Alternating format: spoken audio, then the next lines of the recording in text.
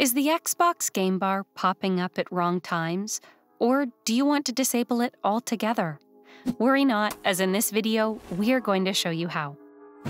First and foremost, start by changing the keyboard shortcut that is Window and G keys. If you use the same shortcut elsewhere, then it might trigger the game bar. Next, you can also turn off the background activity of Xbox Game Bar during your other tasks. To turn it off, open Settings on your Windows PC and navigate to the Apps section from the navigation bar on the left. Go to Installed Apps.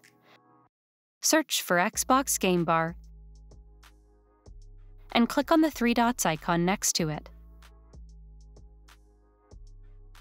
Then, click on Advanced Options look for Background Apps Permissions. It'll be set to Power Optimized by default. Click on to change it to Never. Now scroll down and look for Terminate.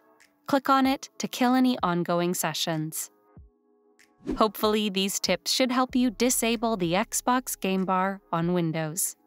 For more tech tips and tricks like these, subscribe to Guiding Tech and discover one of these videos handpicked just for you.